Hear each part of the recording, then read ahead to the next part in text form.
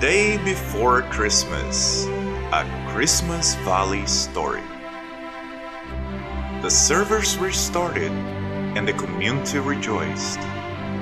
But when I logged in and checked, no purge gear had dropped.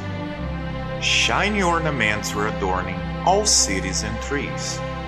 A great time indeed, I thought, just like Gaia should be. But from afar I heard an ominous voice calling for me. Rusian, come! Move quickly, or when I find you, you'll see. It was Santa, and he wasn't happy, I could tell. I still don't have my toys. Go get them, or you'll hear many bells. To the Christmas Valley you will go to get them back from those thieves. And don't dare come back empty handed, or you will feel my fist. Red, black, or obsidian, I was to choose.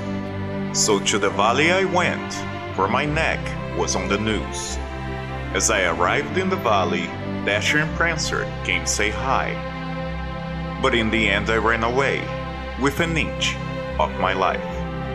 I was attacked by snowmen, big and small, made of rage and ice. Slashing and bashing, I stepped on their eyes. Looking for drops I went as I rummaged their bodies. But I only found a few cubes and rings, and some weapons and armor.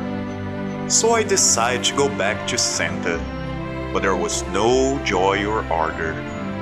To my naughty list your name will go, said Santa. So you can say goodbye to a new mace or a new armor to replace. But don't feel so sad. A lump of coal you will get. Just stay warm, for it's winter, don't forget. So now I have told you my tale of my hunt on Christmas Valley.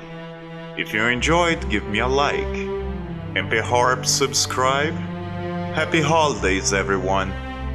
Hope you all had fun. Goodbye, and see you in the game.